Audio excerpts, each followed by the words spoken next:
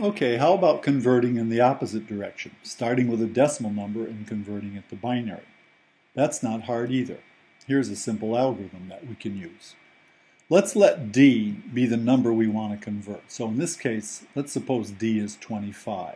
Then step one, write down d, and next to it, write down the place values 1, 2, 4, 8, 16, and so on, and place zeros under each place value.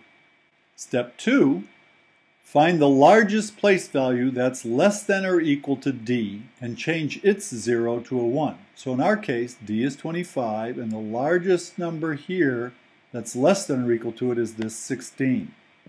So I'm going to change its 0 to a 1. Okay? Step 3, subtract that place value, namely 16, from d and make the result 9 the new value of d. So 25 minus 16 gives us 9, so I'm putting the 9 there. That gives us a new value for d. Step 4, we're going to repeat steps 2 and 3 until we get a value of 0 for d. So in this case, the largest value that's less than or equal to d, which is now 9, is 8. So I'm going to put a 1 under the 8. And then I'm going to subtract the 8 from the 9, giving a new value of d of 1. Step 4 again, I repeat that.